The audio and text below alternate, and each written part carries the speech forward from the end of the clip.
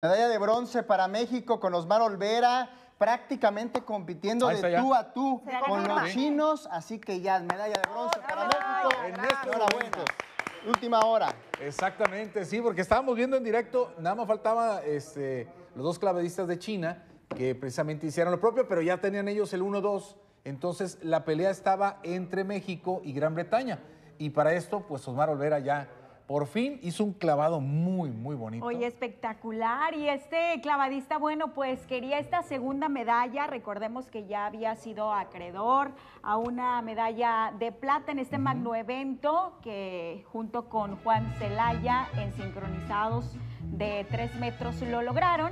Y uno de los objetivos de él, pues, era vencer a los chinos este jueves. Y bueno, obtuvo esta medalla de bronce con mucho orgullo y mucho honor para México. Él es de la Ciudad de México, tiene 20 años y justamente acaba de ser acreedor a, esa otra medalla en trampolín de 3 metros. Una prueba muy complicada en donde no nos había ido bien, al menos en el tema de clavados femeniles, pero bueno, ahora afortunadamente era una de nuestras más fuertes cartas y afortunadamente llega otra medalla para nuestro país. Bien por Osmar. Muy joven, 20 años, Josué, eh, Débora, eh, Sandra.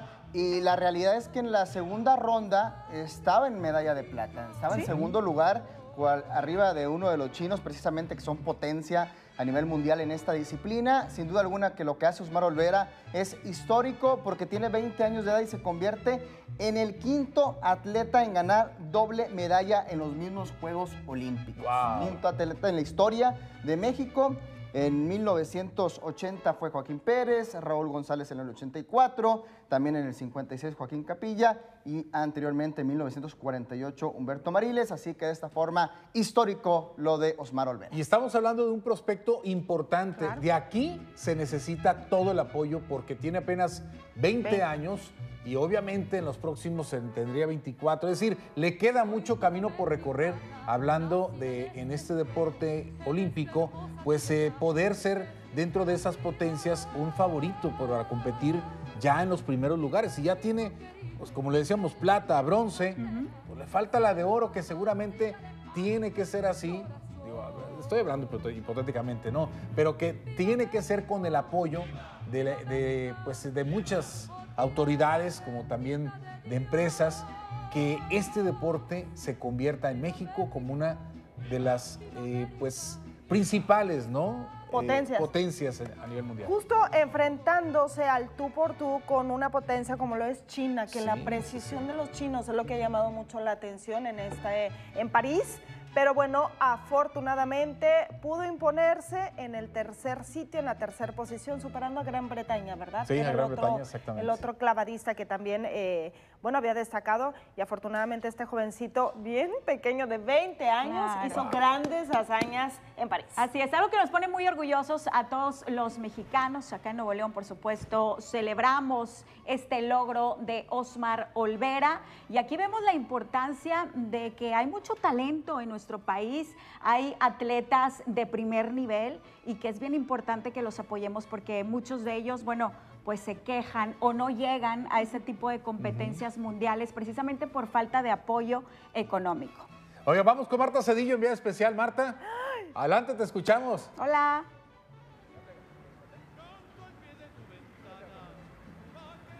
que te quiero, tú a mí no me quieres nada, pero yo por ti me muero. Dicen que ando muy errado,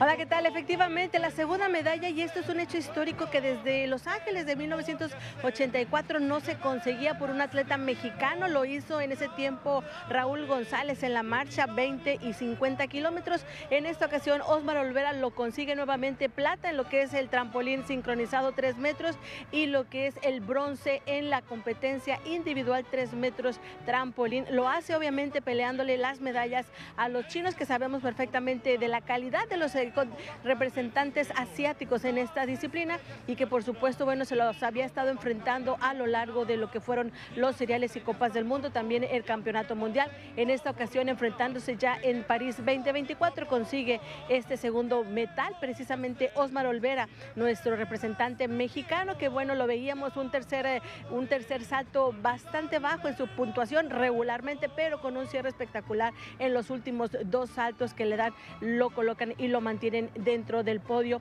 que como bien lo dice también, nos lo había platicado su papá en eh, la edición, la entrevista pasada que tuvimos con él, desde que era un juvenil, desde que era un niño presentándose en competencias estatales y nacionales, él siempre subía a podio, pues bueno, en Juegos Olímpicos no es la excepción para Osmar Olvera, en sus dos pruebas sube nuevamente a la medalla, sube al podio de competencia, consiguiendo en esta ocasión su segunda medalla. El, para el representante de Nuevo León que participa representando a Nuevo León en las competencias, pero que en esta ocasión, pues bueno, nos representa a todos porque pues es un placer tener eh, candidatos y atletas de este calibre que si bien es cierto no tiene su beca por parte de CONADE por una situación eh, de administrativa con la federación, sí tiene el apoyo para poder seguir entrenando con la entrenadora china Majin, que es la artífice de todo esto desde lo que fue la conformación de esa pareja junto con Juan Manuel Zelaya y obviamente llevarlo a lo que son las competencias tanto de copas mundiales,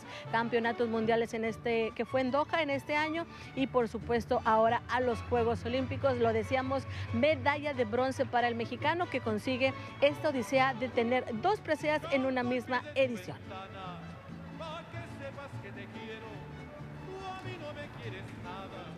Definitivamente lo que decíamos, tener a ese tipo de atletas y nos da mucho gusto porque él, aunque es de la Ciudad de México, entrenó mucho tiempo aquí en Nuevo León. Sabemos que aquí también tienen pues, entrenador, ¿no? Sí, ¿no? Inclusive fue fundamental porque, ya lo platicaba Marta, vivimos la gloria de la segunda ronda donde estaba en segundo lugar, pero después en la tercera tiene un muy mal eh, clavado que estábamos con la presión porque el que seguía era el de Gran Bretaña. Tenía la gran oportunidad de poder superar al mexicano y mandarlo fuera del podio. Finalmente, afortunadamente para el No mexicano, termina eh, no teniendo la mejor de los clavados y esto ayuda a que consiga el bronce. Y ahí está, mire, para que usted vea, eh, hablando de clavados individual, las últimas medallas, en 2016 Germán Sánchez, a quien también por ahí lo veíamos en la anterior eh, competencia eh, ya como comentarista y dando unas palabras para, para pues, Canal 6 y Multimedios y Milenio. Y también en 2012 Laura Sánchez Soto con la medalla de bronce.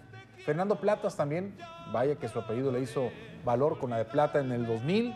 En el 88, ah, nos acordamos de Jesús Mena, Chucho Mena también con la de bronce, y Carlos Girón, ¿no? que fue el que inició con, con esta presencia de los mexicanos enclavados con esa medalla de plata en 1980. Hace 44 años, exactamente. Bueno, un buen día para nuestro país, otra medalla más. Una medalla más. Afortunadamente, eh, enclavados en trampolín en tres metros, ya celebrar y apoyar muchísimo a este joven, a esta joven promesa de, eh, por supuesto, de proyectos como este, como esto que estamos viviendo, que se vive cada cuatro años.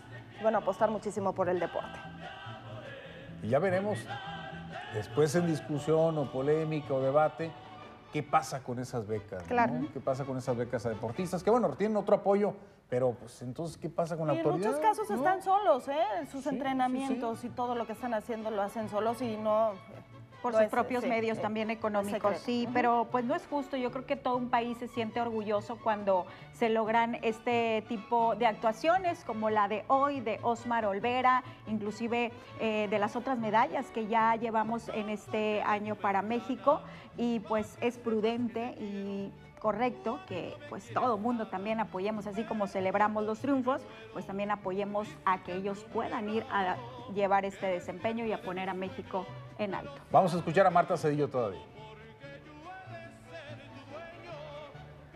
Así es, y sobre todo también faltan algunas disciplinas, falta el pentatlón moderno y falta también el taekwondo con Carlos Sansores. Esperemos que también pueda tener alguna posibilidad de medalla y no sé qué se pueda resultar con Alejandra Estudillo, que en trampolín también en individual, ella entró por reasignación. Ella no había clasificado de forma directa, sino que se dio una combinación en, las posiciones y ella se, se consigue su plaza olímpica y hoy día temprano clasificó ya a lo que es la final en el quinto lugar. Pues bueno, vamos a esperar el resultado que pueda tener también esta competidora. otra, otra Estar al pendiente, ¿no? sí, claro. Y mañana, lo de mañana que será algo extraordinario a la 1.46 con Marco Verde, que va obviamente por la medalla de oro. De ojalá oro, que lo ojalá. pueda lograr. Sí. Mañana con esa gran pelea. Y la realidad de Olvera es tremendo, ¿no? Porque compite de tú a tú con los chinos, no es cosa fácil. Claro. Estuvo muy cerca de la medalla de plata y eso me parece que es algo bastante digno de Osmar Olvera, muy joven, 20 años, seguramente en Los Ángeles podremos esperar no solamente la medalla de bronce, sino incluso la plata o el oro. Muy bien, pues atentos de verdad, porque este camino olímpico sí merece poner toda, toda la atención, porque increíblemente muchos apostaban a que menos medallas podíamos tener en la justa y ahora pues ya tenemos por lo menos cuatro medallas hasta hoy y garantizada otra en boxeo, que esa pues nada más falta ver si es oro o plata, pero ya está una más. Ay, Son cinco sea. medallas entonces, las que tenemos de aquí a mañana. Bien, pendientes entonces, faltan muchas más todavía, muchas eh, competencias y gracias a Marta Cedillo, enviada especial. Sí, y a todos nuestros compañeros que están haciendo una excelente Claro. cobertura desde a los Juegos de París. Así que más adelante nos vamos a enlazar para ir actualizando esta información y mañana, por supuesto, también dar la buena noticia de una medalla más para México. Exacto, gracias mil